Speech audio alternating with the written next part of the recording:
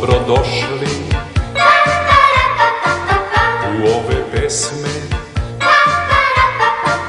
u ove vaše lične minute.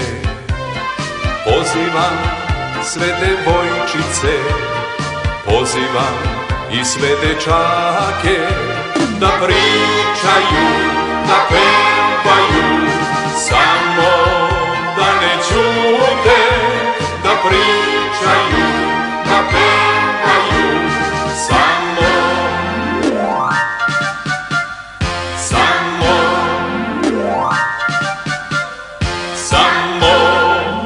control.